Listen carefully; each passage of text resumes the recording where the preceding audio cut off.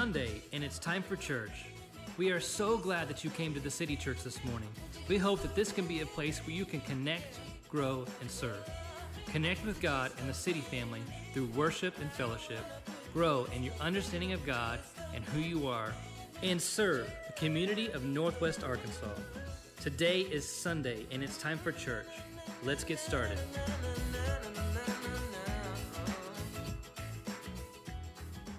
Amen. Good morning and welcome to City Church. Why don't you stand up and worship with us?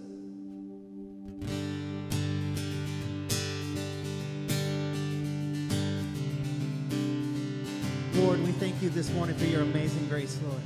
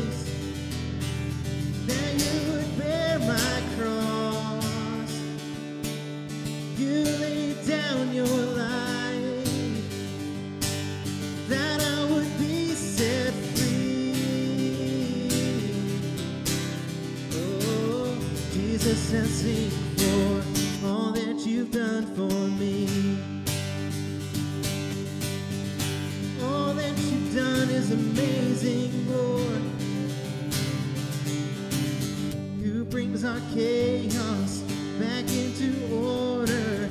Who makes the orphan a son and daughter? The King of glory, the King of glory, who rules the nations with truth and justice, shines like the sun in all of its brilliance. The King of glory,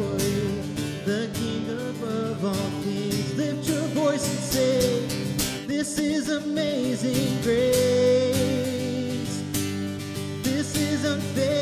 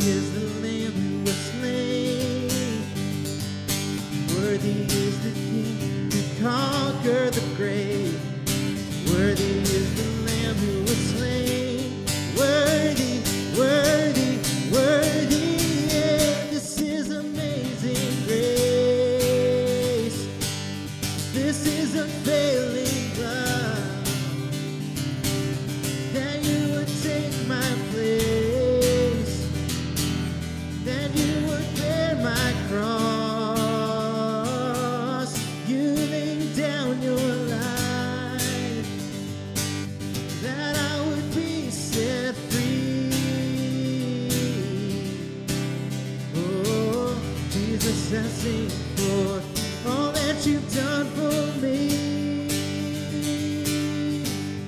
Oh, all that you've done for me. I love the part of this song that says, Jesus, I sing for all that you've done for me. And it makes me thankful that we can come together as a church on Sunday to worship the King of Kings and the Lord of Lords.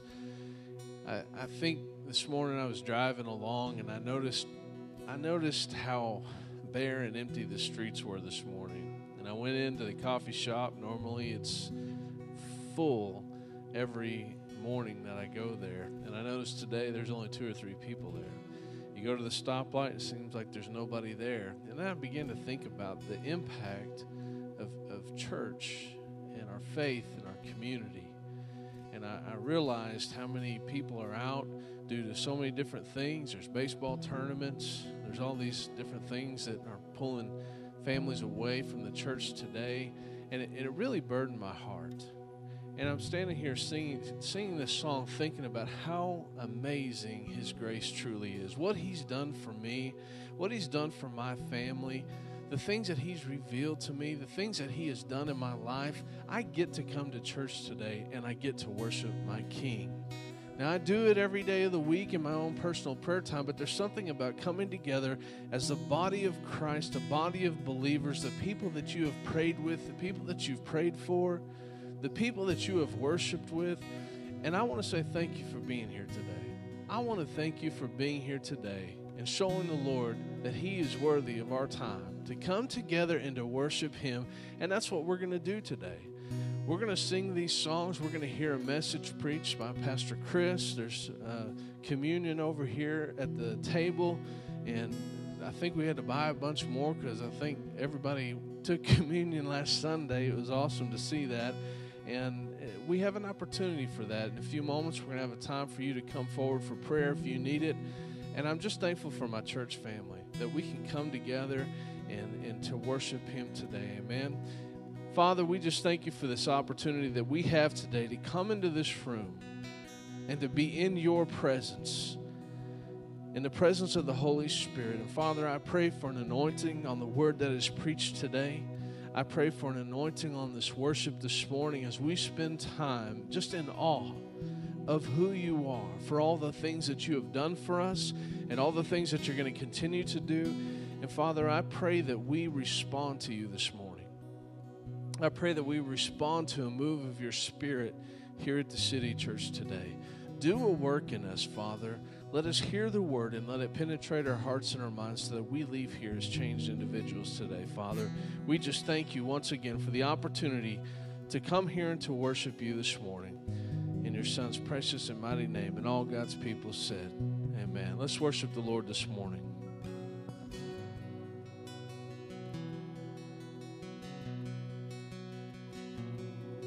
Your love never fails, it never gives, never runs out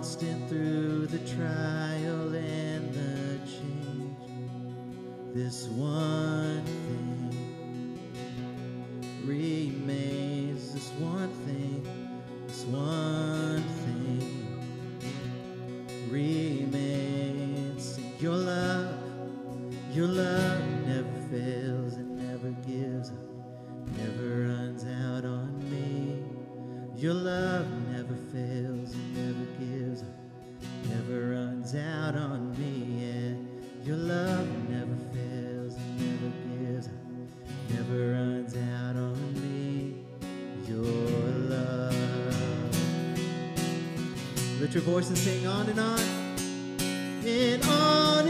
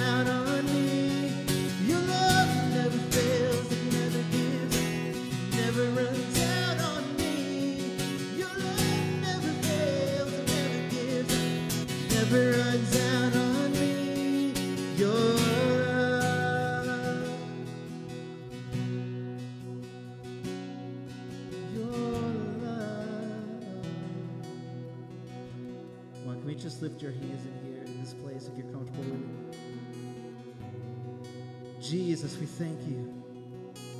We thank you for your unfailing love, Lord. Your unconditional love, Lord.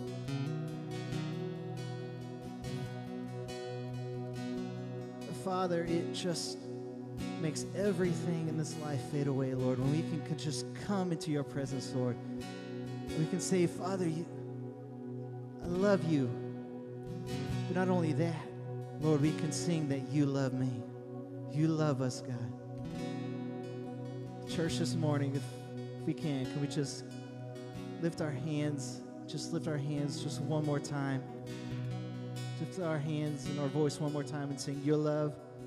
Sing, Your love never fails and never gives up, never runs out.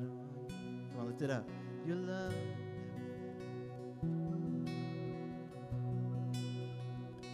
Your love, your love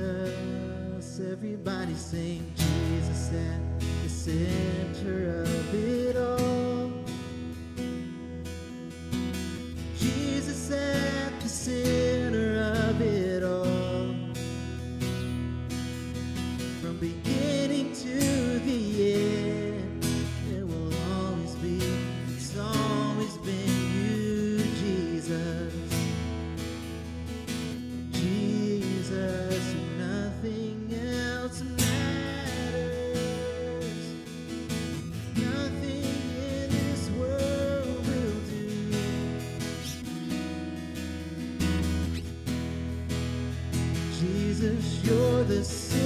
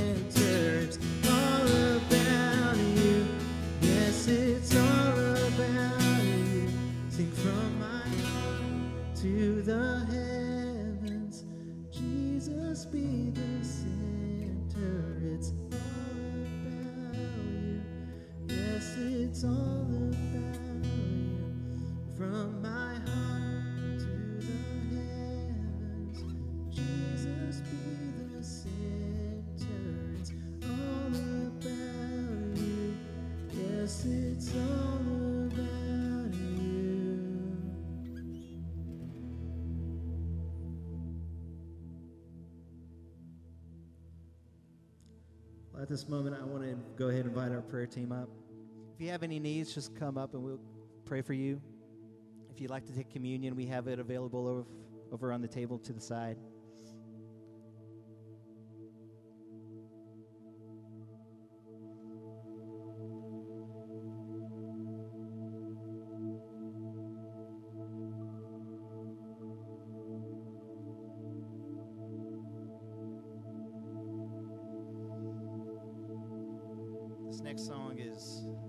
Straight out of Isaiah 6.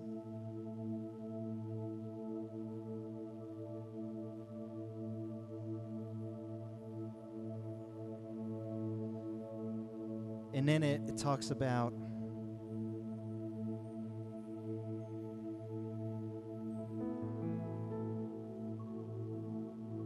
talks about the train of the robe of Jesus filling the temple.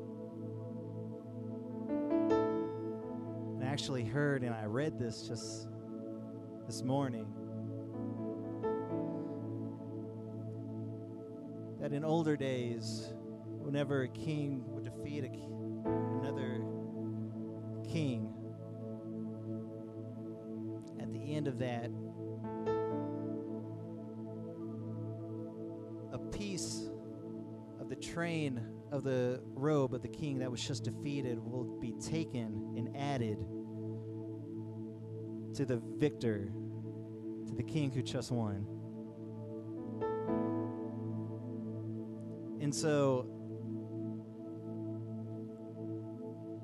we think about that. We think about our king who's won every single victory, starting with the cross. Every single victory that we could ever hope to have in this life. Our King Jesus Christ has won it all. And I just can't even imagine just what that image must be like. To see the train of Jesus' robe filling the entire temple, just the size of it and how it not only covers, fills the temple, but it covers, it covers us.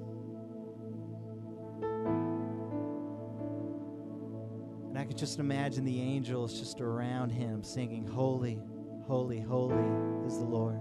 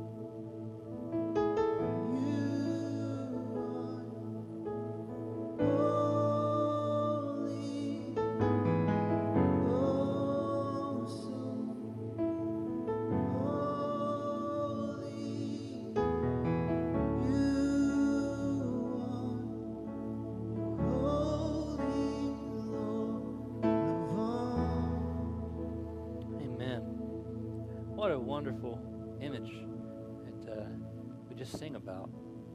Thank you, Daniel, for explaining what that meant. It, it means a lot more than we know what it means whenever it says his robe fills the temple. Um, what an amazing image uh, that we that we sang of this morning, and it's true. God has defeated every enemy that He's come against, and He will continue to do it over and over and over again. We're going to talk a little bit about that today in just a little bit, but but man, I don't know about you, but I have some testimonies of God defeating uh, my enemies in my life and some of the struggles that, that I've come against, and God's, God's come through for those things. And, and I don't know about you, but uh, let's just praise Him this morning for, for the victories that, that He has uh, lined up in, in, our past and, and, He has lined up in our future. And the evidence is in His robe that, that is so uh, beautifully told and sang about this morning. So, Father, we love you. And we are so thankful, Lord, that you have won the victory over and over again by sending your Son to die on a cross, by, by, by giving us the freedom uh, of the, that was found in the blood that was shed for, for us, Father. We're just so thankful, Lord, that, that time and time again, when we need you and we count on you, are so faithful to us, Lord. We, we, we are so thankful for that, Lord, grateful that you have overcome. Amen. Amen. Thank you, Daniel, leading us in worship this morning. You guys may be seated. Um, I'm excited about today. We got some great things planned, but before we get any further, we need to take up this morning's tithe and offering. Uh, Casey's going to pass that bucket around, and uh, this is a good chance for you to give to the Love Your Neighbor program as well. Also, uh, we're just so thankful for all of your faithful giving uh, week in, week out. Uh, we do not take that for granted. We're so thankful for that. So thank you for your giving. Uh, announcements today we have, we'll just call this Man Week at the City Church because it's going to be a great week for the men. Uh, today we're going to start in just a few hours going to a baseball game. Uh, we're heading at, at 2 o'clock, the game starts, and uh, we're going to see uh, who wins between the Naturals and the, the Drillers. Um, I haven't decided who I'm going to cheer for because I don't really care that much. But, but I'm excited because uh, I love a ballpark. Not a big baseball guy, but I love a ballpark. Something about going and spending time at a ballpark is, is something special. So, uh, guys, if you don't have plans this afternoon, um, instead of taking a nap, just go have some fun, taking some baseball with us. It's cheap. I checked the prices, and it's like 10 bucks for like the really good seats. And so um, that's cheaper than in Tulsa. So that's, that's great That's great news. So make plans at 2 o'clock. Meet, we're going to meet at the front gate a little bit uh, before 2 so we can try to get tickets uh, together. So uh, bring a couple bucks and uh, meet us uh, in front of the gate about 150. We'll call it 150 so we can get some seats together. So uh, that's going on. Also, Stronger Men's Conference is this weekend. We've been talking about this since like September, probably. I think that's when we first started showing the videos of what's going to happen. And uh, I'm really excited. They've been releasing a lot more information uh, in the last couple of weeks and months, and uh, there's going to be like a SWAT thing, SWAT team thing you can go through, and I don't think you're going to shoot live rounds because it's on a school campus, but um, it'll be kind of neat to go through that, and um, we're going to try to leave as early as we can so we can take in as much of that as possible. So the hotel room will be about 50 bucks in case you haven't uh, paid for that yet, but uh, I'm excited about that. It's going to be a really good weekend for our men. Uh, I, I, went last year, and um, a lot of the men that we took with us said it was life changing for them. It was uh, something they really needed. So uh, I'm thankful for the guys that are going with us. And if you want to go, I mean, we'll have to do some scrambling, but we can make we can make it happen. So talk to me after service, and we'll just we'll just make it happen. How about that? So uh, there is no city group tonight because it's, it's men's afternoon. it's not really men's night, but it's men's afternoon. And uh, Wednesday night, of course, is city prayer night, and we would love for you to join us uh, for that. I say it every single week. It's a great time. It really is a great time in the presence of God, and uh, we pray for the, the future of our church and everything that we do that is that is visionary in this church and that's going to lead us in the future goes through prayer and city prayer night, and of course in other times as well. But uh, we prayed together over those things, and that's how Love Your Neighbor started. And just to give you a, a quick update on that, we've been meeting with a builder for a trailer, and there's so many steps that have to happen before that. So I don't, I don't want to stand up here and, and just say that it's, it's all taken care of. But uh, things are really, really progressing quickly on this, and um, it's, it's looking like we're going to get a really, really nice uh, trailer. But like I said, there's a lot of a lot of bridges to cross before we uh, take possession of that. So be praying for us. Also be giving because these things aren't cheap, and we want to make sure we do this right. So uh, thank you for those that have given already. Uh, we've raised, I think we've passed two thousand dollars now. So that's a good that's a good start. We've got a little bit further to go. So that is all the announcements I have today, and I'm excited to start our new series called Fake News.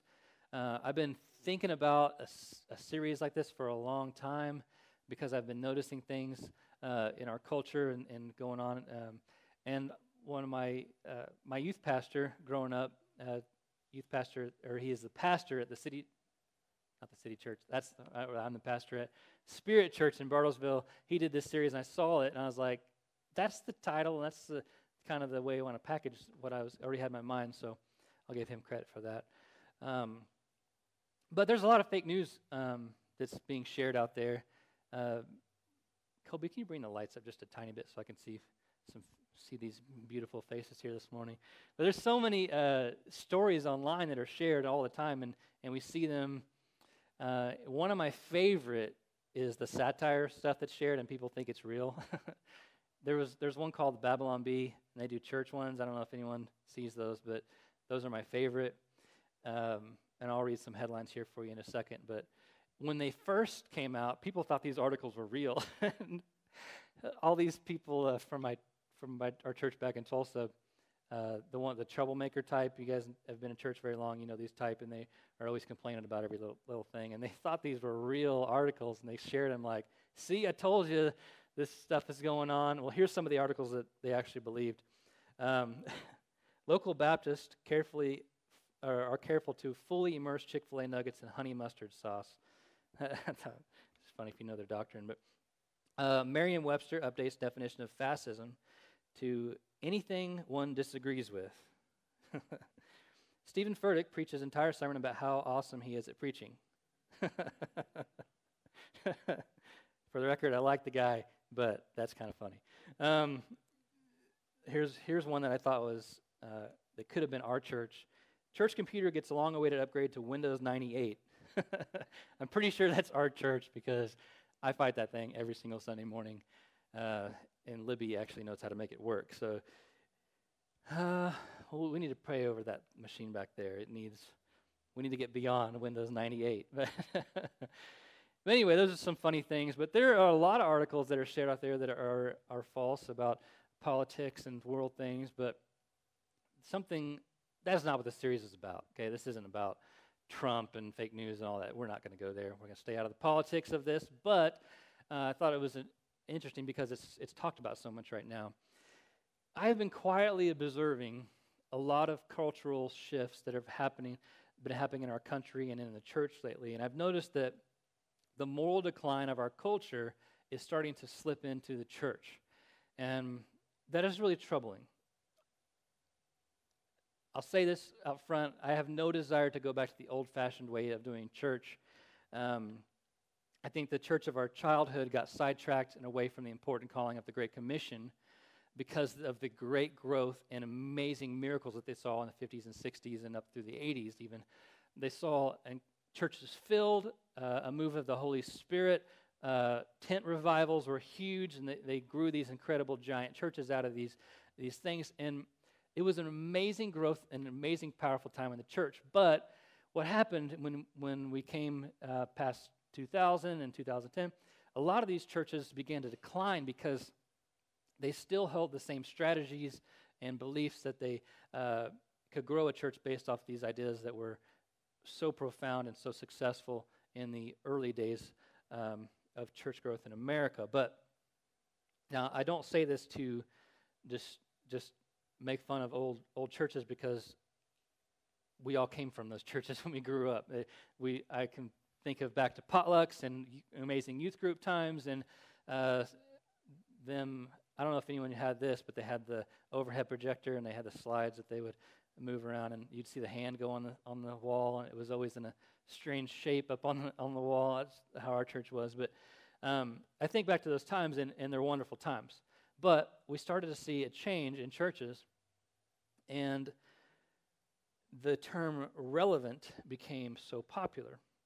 And the modern church is, is really beginning to head a little bit too far into that direction. I think when that's when the whole relevant movement started, it was something that was um, probably good intention and, and, a really good heart of it. I think that this church here wouldn't exist if, if a little bit of that wasn't embraced in the beginning, uh, because you know we have we don't have pews, we're not singing uh, the old the old hymns and stuff, and there's nothing wrong with that. I'm just think that more of us feel a little bit more comfortable in, in this environment of church. So the conversation I had the other day with one of my former students um, kind of began to things began to click for me. We were talking about music, and he we text all the time. Um, it wasn't like just because I'm not their youth pastor, I'm going to completely cut them off in their life. I told them, "Hey, I'm still your I'm still your youth pastor. I'll always be your youth pastor, no matter what." And so a lot of them text me still, and uh, we text a lot about music. And strange fact about me is I like rap music. I know you probably completely discount every single thing I say from now on, but uh, when I was a kid, I used to I used to like it, and uh, as a youth pastor, I had to embrace it. And so I kind of I kind of uh, developed a, a, a, love for it. And so, uh, to be fair, I like all music, and um, I don't discriminate against other kinds of music. So. Have an open mind, people. You guys rolled your eyes big, a little bit more than I thought you would over that. So, uh, I love rap music. So, a lot of the students call me and, and text me when new stuff comes out. And I got this this text about this um, this guy that came out this this song, and he uh, was collaborating with a, a, a, secular artist, and so I was taken back a little bit because of all the profanity in it, and so uh, I was troubled with the fact that you have this Christian artist and you have this secular artist working together and with all this profanity. So I we kind of went back and forth, and he was like, "It's not that big a deal. It's just a little, a few words here and there. It's it's not that big a deal, and it, and it's not like that guy was saying those words." And so I said to him, "Listen, bud, what you're not seeing here is there's a a huge cultural movement going on here. What you're seeing is so many people embracing every bit of culture instead of just uh, trying to make." trying to make music that fits into our culture uh, that, that other people like. Instead, now you see uh, really there is an invisible war going on in the background. And what, what you, people are failing to see is you have Christian artists teaming up with people that, that don't believe the same way. And you have all of these youth group kids, all of these young children that have, that have followed these, these artists, and their parents have signed off, and their youth pastors signed off, and, and it's okay on them. And all of a sudden, now they're listening to this other music, and all of these uh, these things that we don't believe are being shipped into our home, and we've signed off on it.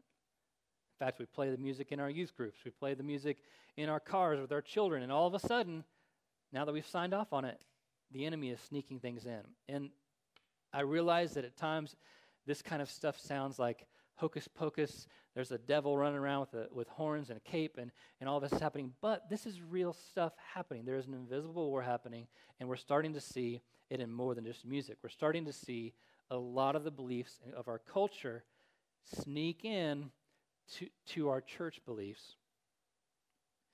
This is fake news, and the Bible warns us about false teaching and what it will do to the church. Galatians chapter 5 gives us a pretty good uh, foundation for this series. It says, You are running a good race. This is uh, chapter 5 of Galatians, verse 7. You are running a good race. Who cut in on you to keep you from obeying the truth? That kind of uh, persuasion does not come from the one who calls you. A little yeast works into the whole batch of dough. I'm confident that in, that in the Lord that you will take no other view. The one who is throwing you into confusion, whoever that may be, uh, will have to pay the penalty. Brothers and sisters, I am still preaching circumcision. Why is it that I'm still being persecuted? In that case, the offense of the cross has been abolished. As, uh, as for the aggregators, agitators, sorry, as for the agitators, I wish that they would go uh, the whole way and emasculate themselves. He gets a little bit extreme there, and that and I kind of like it, so I left it in there. So here we get a clear description of uh, the way false teachers work, and I'm going to run through this extremely fast. And I had notes, but I forgot to to load them up on the screen. But so I apologize for that because I'm going to move so fast. But verse seven says that false teachers distract. They will. These are people that uh, who get the church off in a tangent. We know these people. We've seen them in our churches before, but uh, it's starting to happen. Uh, then the enemy is trying, starting to use these tactics in the church to get the church off on these tangents. So they use the cover and cloak of the LGBT movement. They use the uh, they use music as as a as a covering. There's so many things that the, that is hidden in our culture to distract from the true meaning of the church. So you have these huge discussions, these huge things that are going on uh, uh, talking about the church and the whole thing is lost because we're no longer talking about the gospel. We're talking about all these controversial doctrines, and that's not the, that's not the message of the gospel. Yes, it's important doctrines that we need to stick by and, and, and maintain, but the message of the gospel is Jesus Christ. And if that is not the main thing being preached, not the main thing being displayed to our culture, then the church does not seem very compelling. And that's starting to happen with false teaching. They know that they can distract the church and crumble its effectiveness. Verse 8 says, False teachers replace the call of God with their own agendas. You will see this with churches that teach that sin is acceptable. The pastor is covering up for himself or somebody else he loves. You start seeing people preach out of self conviction instead of the Bible. That's false teaching. That's, that's fake news. Verse 10 says they cause confusion and discouragement. You should not walk away from a, a sermon, a church, or a conversation with a believer and feel discouraged and confused with what you believe. There's probably false teaching in there. And if and I don't know if you, about you, but when I read things sometimes and I think, well, that sounds nice, but I better read the Bible. The problem is, a lot of people aren't going to the Bible now when they hear stuff that, that they haven't heard before. And it's just like, well, okay, I'll believe that now. It's my, it's my theology now. That's fake news. Verse 11 false teachers, they spread fal- uh, false information about spiritual leaders, causing the church to be divided. We've seen these people, we know what they can do. There is not a successful pastor of a large church out there that doesn't have a blog dedicated to destroying their image. There isn't.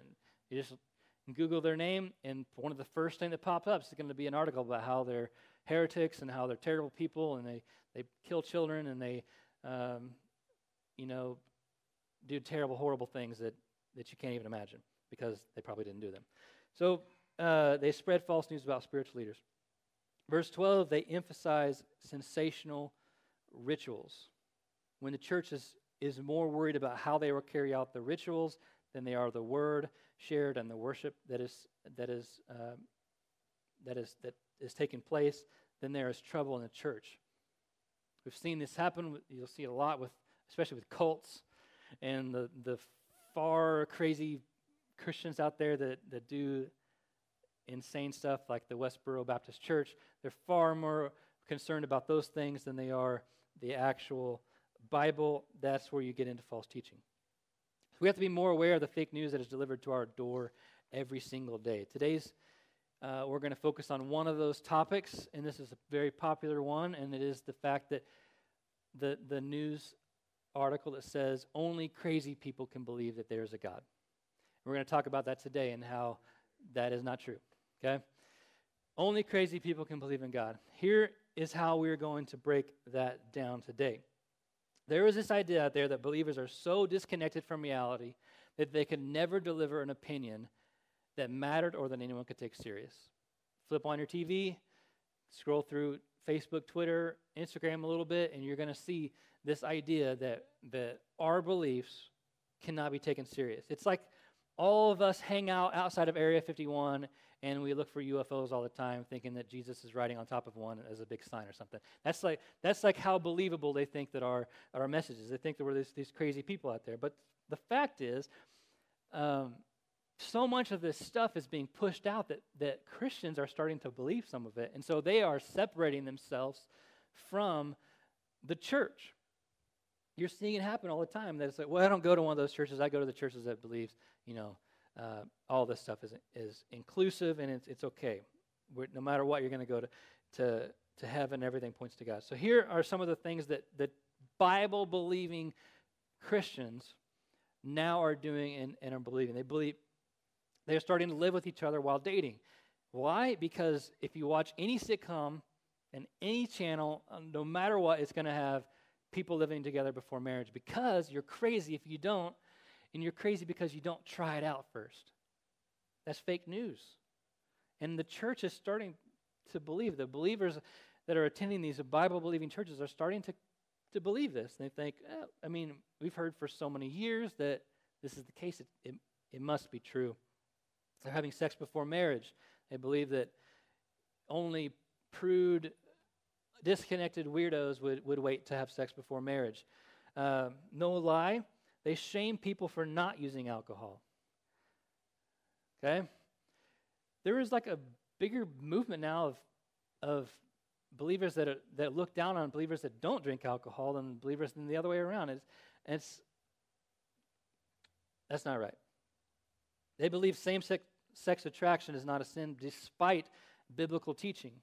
It's laid out in the Bible. I mean, it, it says it there. And that doesn't mean you don't love those people. It doesn't mean that we wouldn't welcome them into a church. But the Bible is, is without error, and it's laid out. It doesn't mean that, that we don't sin. It doesn't mean that we don't make mistakes, and, and we shouldn't be condemned as well. But that's something that you can't just look over just because it doesn't feel right in our heart. You have to base everything off of the Bible. They uh, Bible believing people are now starting to believe abortion is, is okay because of women's rights. Now, we believe in women's rights. Totally believe women should be equal, and, and I believe that they are. But abortion uh, should not be uh, something that we embrace as a Christian culture. Bible believing people are now starting to believe that all religions ultimately point to God and that love wins in the end, that love couldn't possibly turn away anyone to hell. But the reality is, hell is a real place. It's a real thing, and it's not, it's not something that we experience here on earth, and it's just something that we go through in hard times that we call hell. No, there really is a place called hell, and it really is going to be a, a place where, where people, unfortunately, are be punished for eternity. And it's not going to be this cool party with Satan, like a rave that, that, that is the people that mock hell and mock, mock our beliefs believe. They think it's going to be a cool place where all of the alternative people go, where all the, the, the outcast people go hang out. No, it's going to be it's going to be uh, a, a terrible, terrible place. I'm starting to see uh, whenever I see articles shared about way one believes, I almost always see a long list of comments condemning people for actually standing up for anything that the Bible believes. And we just about defend every moral decline in the name of grace. Grace is an amazing, powerful, powerful thing that, that, that, that God gives us. But it doesn't mean that you can just pull the grace card on every single sin and every single moral decline that this culture embraces.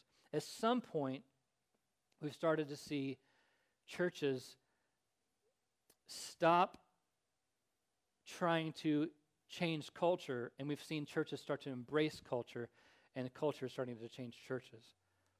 I'm not thinking about any specific one here. I'm not going to say, well, this church across town, they, they do that. But I'm just saying, when I say church, I mean believers as a whole, because that's what the church is. We're starting to see a moral decline in our culture, in our culture, and it's it's carrying the tag of grace, and that's just fake news. It's sad and it's very common.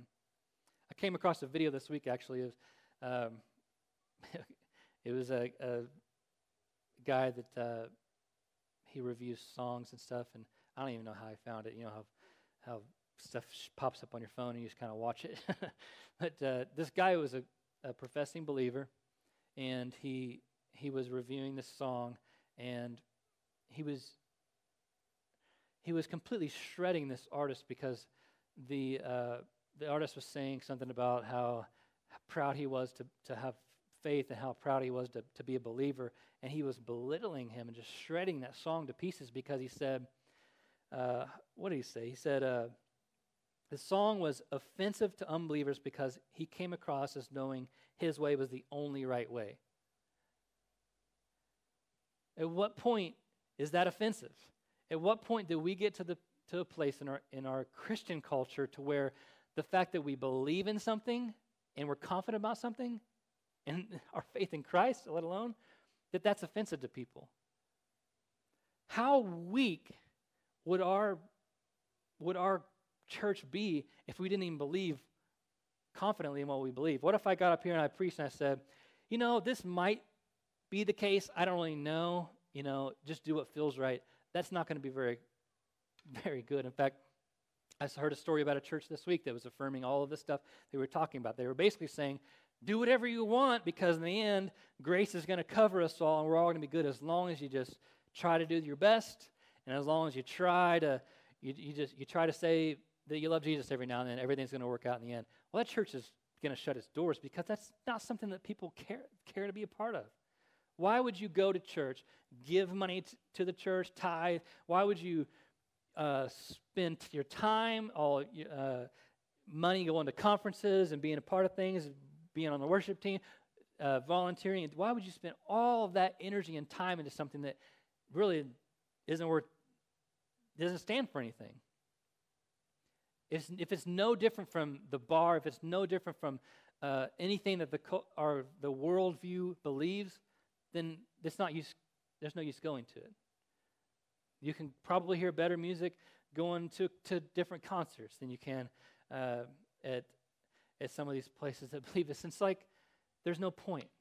There's no point to spending all that time and effort if you don't really stand for anything, if you're not confident in what you believe. This is why churches are closing. Who would want to ever commit to anything like this when the believers aren't even sure that they are right? Psalm chapter 14, verse 1 says, A fool says in his heart, There is no God. But we're seeing ourselves being labeled the fools, and, and they laugh at us for, for our beliefs. But here's some of the things they're saying about us they say our faith is blind. Yeah, sure. Okay. Yeah, we believe, and I don't have to see anything. Yeah, our faith is blind. But the fact that they are accusing us of having blind faith is a complete joke because if you look at anything in this world, you have, you're required to have blind faith if you woke up this morning and your phone went off and it woke you up, you had blind faith that that was going to wake you up in the morning. Why? Because maybe your phone was going to die. How do you know with, uh, without a shadow of a doubt that wasn't going to wake you up? How, how are you going to know when you go out to your car and you start it in the morning that your battery wasn't dead or something didn't happen where your car won't start? You just go out there with faith with the very last second so you can get to work on time or drop your kids off on time because uh, you don't have time for car, car problems. You had faith that that car was going to turn on. There is blind faith all over this world, and for them to accuse us for having blind faith is a joke. And honestly, I'm proud that I have faith that I don't have to. Uh, faith in, in Jesus that I don't have to prove to anybody. I just believe him because I because I know in my heart uh, who he is.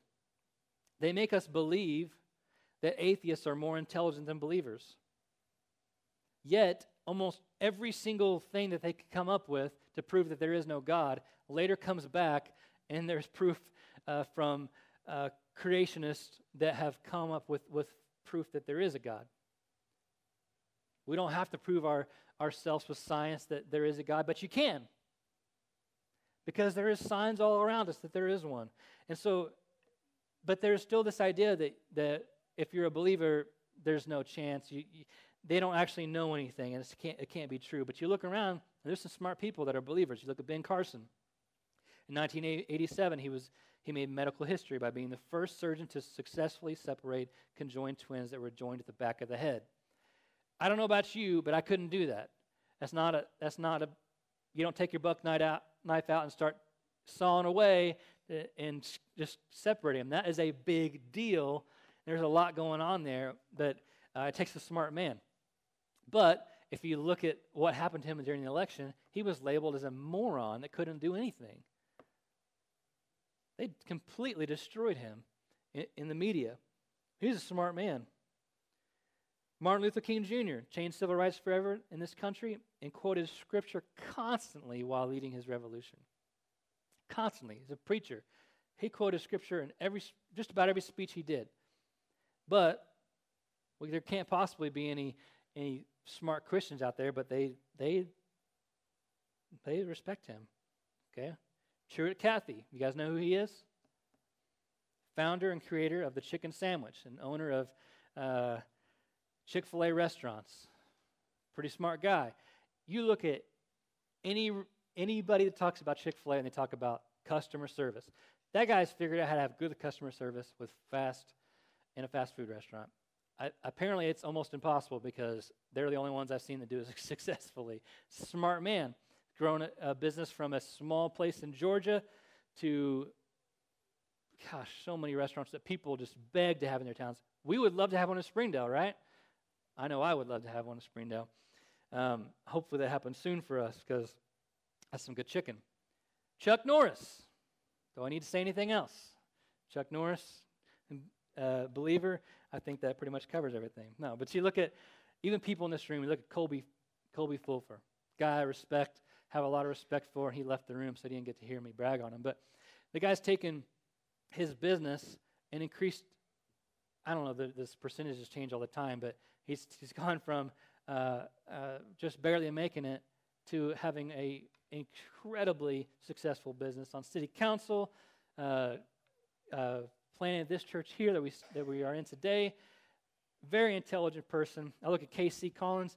Every time I have coffee with him and he starts talking about theology, I feel less intelligent of my, my own beliefs because he knows his stuff and he reads all the time. You're telling me that Casey is not intelligent, um, I will laugh at you in the face because that's definitely not the case. I look at my wife in the back. Um, when we start talking about the things that she does for her job, I'm just, I kind of tune her out because I have no idea what she's talking about. When all the math stuff, it, it's like I have no clue. I kind of nod my head like I know what you're talking about. like, that's crazy. But in my head, I'm thinking, I have no idea what you're talking about. My wife's a smart, smart person, and uh, anyone that says that she's not, um, I'll look at them like they're the crazy one. The idea that there are no smart Christians out there is, is insane. And the fact that, well, the majority of us aren't, aren't smart is, is incorrect. And this idea that we are all some brainwashed people with low IQ is completely ignorant. It comes out of a place of complete ignorance. And I truly believe that the best evidence of God, though, that we can have can be seen by our testimonies. Now, I know that's not scientific. I know that uh, that can't that probably won't be taken serious in many circles. But for me, the proof of his existence can be found in our testimonies. Revelation chapter 12, verse 11 says, They triumphed over him, which is Satan they're speaking of, by the blood of the Lamb and the word of their testimony. Acts chapter 4, 4 verse 33 says, With great power the apostles continued to testify to the resurrection of the Lord Jesus. And God and God's grace was so powerful at the work of of them all, that there was no needy person among them. For, for from time to time there came uh, uh, someone that owned land or houses that they sold them. They brought the money from the sales and they put that at the apostles' feet, and it was distributed to them um, who needed it. We talked about this back in uh, the fall when we talked about our tribe series, and um, it's a really fascinating thought that the fact that they brought all their possessions together and lived in this community where nobody needed anything. The, what happened here, if you don't remember, which you probably don't because I barely remember, if I can't remember my own sermons, um, I don't expect you to remember all of them either.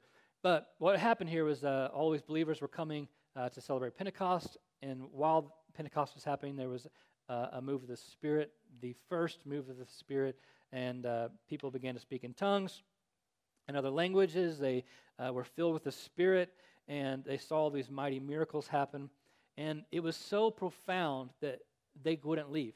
They had come uh, to, to this town and to spend a few weeks, and they had prepared their money and their possessions for that specific time. But when they felt this presence of God and they had all these believers around, they decided, we can't go anywhere. We can't leave this because what we have here is something that, that is extremely special, and we, we just can't leave.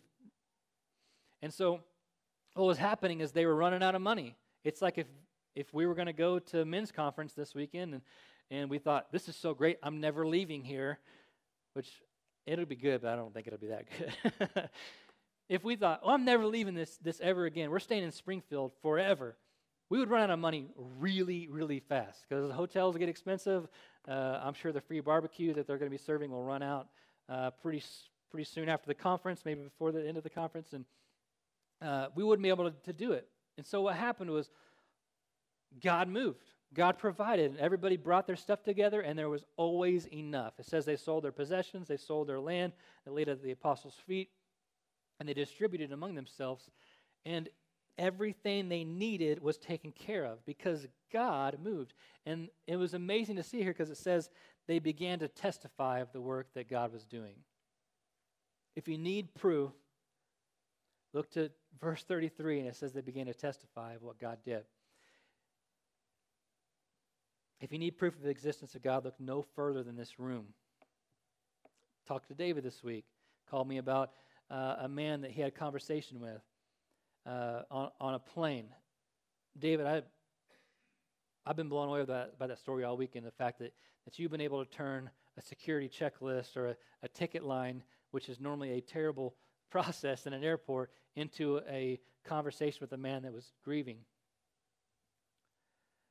and that that conversation is still going on today, and you're still praying with him, and you're still in co- contact with him, and you're ministering to him today off of a overheard conversation in an airport is, to me, amazing at the way that God can move in anything. I don't like going through those lines, but God can move even in an airport line. I look at Dennis back there. He met last week, talked about his testimony, and to hear how God took him from being convicted of crime, sitting in a jail cell, and he gets a Bible and opens it, and, and his faith is ex- exploded, and, he, and he's able to turn his life around based off somewhat a Bible being in a jail cell. Just reading the Word of God can have an amazing impact. If that Word wasn't inspired, if it wasn't powerful and, and able to do miracles just by reading it, that wouldn't have happened. That's a powerful word that we read and that we share every single week here. And hopefully you share daily in your home. I look at the Collins and the fact that they have a beautiful uh, little girl in their house. That's an, that's an amazing miracle. That's a lot of money to raise and take care of uh, a little girl like that. Adoption is not cheap. And the fact that they were able to pull that off, I don't know how. Maybe God's still working on that one. But it's a miracle. And it's a, it's a beautiful miracle that we get to experience every single week when they're in here and uh, get to see the God work there. Uh, I see the miracle that God's doing in my, my life and, and wife. Uh, to see the uh, little page uh, kicking and uh, using her bladder as a punching bag. to me, this, it's a miracle because the, there was days where we, we didn't feel like a miracle was going to take place. There were days where it felt like we're going to lose another child three in one year. But that's not what's happening. We have a hyperactive child bouncing around all over the place. It's going to be a lot different than Claire, I can already tell. She's going to be crazy. They always said the second one, if the first one was good, the second one's going to be uh, crazy, and that I'm already believing that, getting to know her personality. I'll get Jeannie in the back there, and I'm reminded of the grim uh, outlook that they gave her in her life, and, I, and I've seen uh, God use her life in, in ways that they said there would be no life. And I've seen God move before, and I go through this list here, and I've seen how faithful He's been to us. And I look at the, at the amazing work that God's done and how it's so evident in our lives, and I know that He's going to keep doing it. He's going to keep doing it again and again and again, and God is going to show himself to us because that's what he does. He's powerful. He's faithful to us when He doesn't have to be faithful to us. Why, why would He be faithful to us? Why? Why does He even care? I don't know, but He does. And it's amazing that we get to have a relationship with Him when He could just be some king on a throne squashing us like ants, but He's not. He's a loving Father. So, to the people that think we're crazy, I think you are the crazy ones. And I challenge you to find anything else that can fill the void in our lives like Christ can. There's a story I heard this week uh, a man named Charles Bradlaugh and Hugh Price Hughes. I don't know who came up with that name, but, but uh, that, that was his name. Hugh Price Hughes was a, a, preacher that lived in the slums of England. He preached and uh, uh, he had a successful mission uh, in his area. And I, I, printed this story out, so I'll just read it. Um, this is in London. Uh, Charles Bradlaugh challenged Mr. Hughes to a debate with him uh, about the validity of the claims of Christianity. London was greatly interested in this. Uh, what would Mr. Hughes do? He immediately accepted the challenge and, in doing so, added one of his own. Hughes said, I promise to you that we will each bring some concrete evidence to the validity of, validity of our beliefs in the form of men and women who have been redeemed from their lives of sin and shame by the influences of our teaching. I will bring 100 men and women, and I will challenge you to do the same. Charles Bradlaugh was a profound atheist that, that thought, no matter what, I'm going to win this because I'm more intelligent. I'm an atheist. I, I have a more complex, more developed thought process than this man of belief, this man of blind faith. Here's what happens He says, If you cannot bring 100, Mr. Bradlaugh, I challenge you or to match my 100. I will be satisfied if you just bring 50 men and women who will stand to testify that they have been lifted up from the lives of shame and influence of your teaching. If you cannot bring 50, then bring 20 who will say, uh, as my 100 will, that they have great joy in their life of self respect and as a result of your atheistic teachings. If you cannot bring 20, I will be satisfied if you can bring 10. Nay, Mr. Bradlaugh, I challenge you to just bring one, just one man or woman who will make such a testimony, testimony regarding the uplifting of your atheistic teachings. Again, London was stirred. What would Mr. Bradlaugh do? In answer, Charles Bradlaugh, with great discomfort, withdrew his invitation for public debate. That's the big difference that separates us. Yeah, you can believe that you're intelligent, you're smart, but good luck filling that void that must be fill, filled by Christ. What hope is there? You'll find a very shallow hope. Your hope will be found in material things, it'll be found in substances, alcohol, drugs, You'll think that you'll find what you need there from coping with, with your life. It'll be, it'll be found with family. You'll think, oh, my family will be that. But your family may be great. My family is amazing. But I will not put them in the position to, to fill the void in my life that Christ does. That would be unfair to them. And what would happen if I put Kara in the place where she's supposed to, to fill that void in my life? We would get a divorce. That's what would happen. Because I put unrealistic expectations of my marriage on her. She is not God. She can't be. She does not have the capabilities of being God. She can't. And so for me to put her in that place and to expect her to be God for me is not going to end well for either one of us. She's not going to she's not going to be able to live up to that. I love my wife. She's amazing. And that part of my heart, she she fills that part all the way. Amazing woman. But she's not she's not that top place.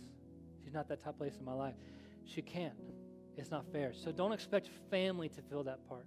These atheists think that they have everything everything in their head worked out, but it is so empty. There's no way that a belief in nothing can fill a void. Let Christ do that. Today, I want to close with an invitation to believe. If you haven't believed, if you if you've fallen short of your belief, if you felt if you fell trapped to some of the fake news and believed that you know the Bible is an old book, it's just an old book of, of ancient customs. No, if you've fallen into that fake news, today set it right. This is an invitation today to receive help. If you feel that empty, today is the day to feel help, to get help. It's an invitation to recommit to living by His word and not by fake news. If you've done that, if you've fallen into that trap of believing that things are okay just because this is what our culture embraces, and I don't want to be weird, you know what? Be weird. Break normal. Live better. We've talked about these things. We've preached about these things. This is what it, it all boils down to is people believing fake news in the name of not being weird. Who cares? You, you can label me crazy. I don't even care. Because I know in my heart that only Christ can, can fill that void. Only Him can accomplish those things in my life. And only Him will I trust with my life. When things get bad, when health, health problems come, when financial problems come, when family stuff comes in, Christ is who I run to.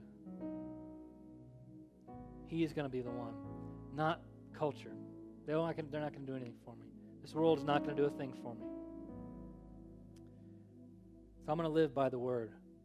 Will you commit to doing that today? I'm going to close in prayer. Daniel's going to, going to sing us a song. We'll close here in just a second. But would you take a moment and reflect? Take a moment to, to examine your heart and think are there things that I've been doing that I've let fake news influence my belief, influence my life? Repair that today. Set things straight today with God. Take, some, take a moment here. Father, we love you. We're thankful, Lord, that you have given us your word and you've warned us about false teaching. Father, I pray for those that have fallen into the trap of believing this fake news. I pray that you would deliver them from that today. Myself, I throw myself in there. Lord, I pray that those things that I've let seep into my life from culture, I pray, Father, that I would, I would reverse it and I would let myself impact this culture that my life would be a living testimony of the power and the work of, of your, your doing, Father, the things that you've already done in my life, and that, that I would live in the power of your testimony, cleansed by your blood. We love you, Lord. Do work in our life today, Lord.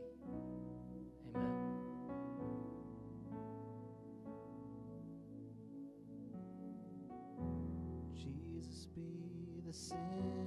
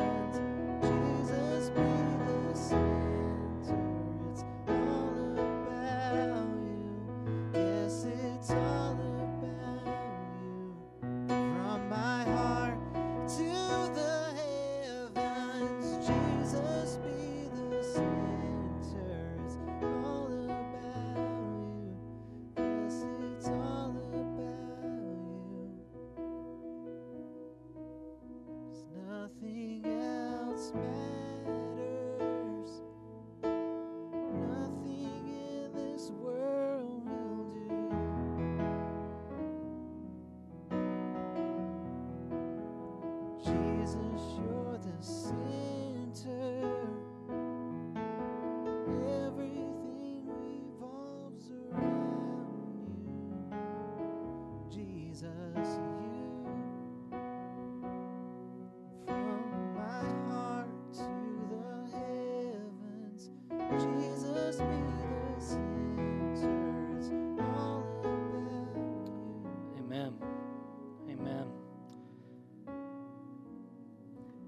Let's uh, let's just agree today that as we leave, we'll be a little bit more aware of those false teachings and some of those things laid out. Look for those people that deceive, those people that distract, that uh, that that are divisive.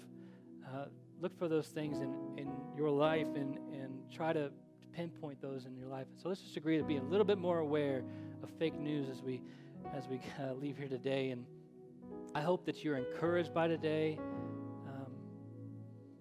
you leave uh, with a sense of, of that you learned something you got to enjoy the, the presence of God today. So thank you for being here.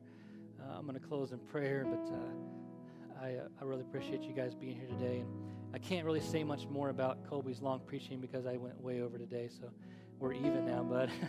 so I apologize for going long. I just had so many good things to say today. So, uh, yeah, you know what I'm talking about, right?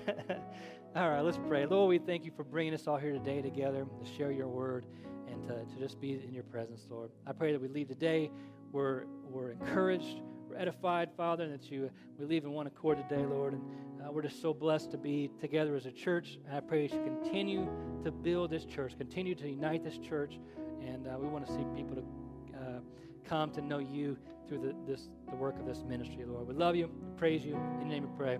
Amen. Thank you for coming today.